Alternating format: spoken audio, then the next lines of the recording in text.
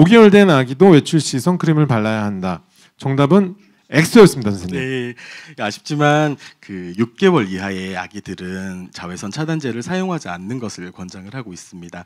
그래서 실제로 저기 저기도 아기가 저한테 두 명 있는데 어, 아기들을 키워 보니까 6개월 이하는 보통 외부에 나가실 일이 많이 없어요. 접종하실 때 빼고는 그러다 보니까 다행히 태양으로부터는 평소 생활하실 때는 조금 안전적 안정적이기는 한데 혹시나 이제 사- 나가야 되는 경우가 생긴다 그러시면 말씀드린 것처럼 옷이나 모자나 이런 것들로 커버를 해주시는 게 가장 좋고요.